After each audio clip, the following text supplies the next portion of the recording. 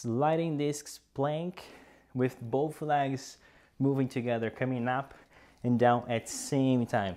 It's a little bit more work than the alternating sides. So then you're in a plank position here.